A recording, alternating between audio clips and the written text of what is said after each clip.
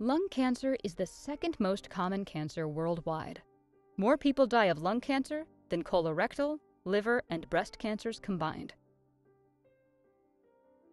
About half of all lung cancers are diagnosed after it has already metastasized.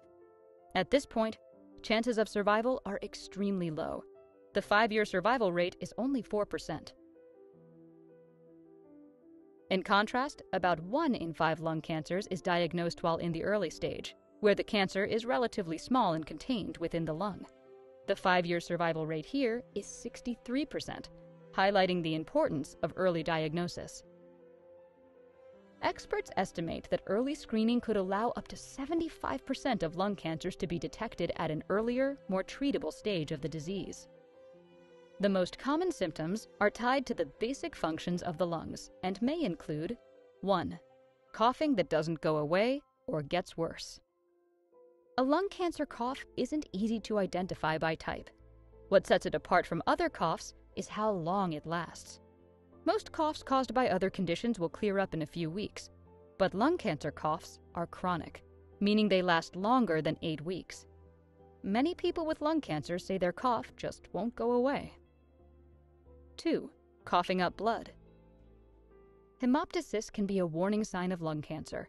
In fact, it is the only sign present in 30% of people at the time of diagnosis. The blood is often present in small amounts, such as what you would find on a blood tinged tissue. But any amount of blood sputum should be evaluated carefully by your doctor. 3. Respiratory infections.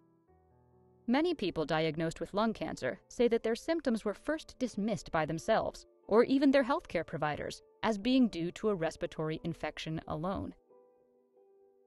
But when lung tumors grow near the airways, they can cause an obstruction that raises the risk of these infections.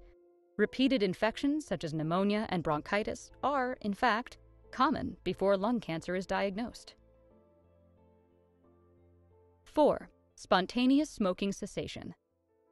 It's been found that a significant number of people with lung cancer reduce the number of cigarettes they smoke or spontaneously quit smoking prior to their diagnosis. What's interesting is that very few symptoms of withdrawal occur in most cases. Until recently, this cessation was thought to be related to an attempt to ease coughing or a subconscious fear of developing lung cancer. However, studies now suggest that the ability to stop spontaneously may actually be an early sign of lung cancer. It could be that lung cancers produce chemicals that decrease the addictiveness of nicotine. And 5. Chest pain. Many people mention that they feel chest pain before they are diagnosed with lung cancer.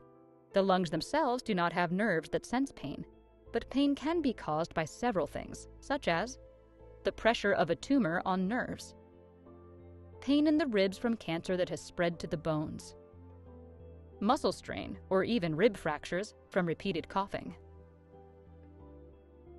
Although not everyone with lung cancer develops these symptoms, these are the symptoms most likely to appear before the disease spreads and becomes more serious.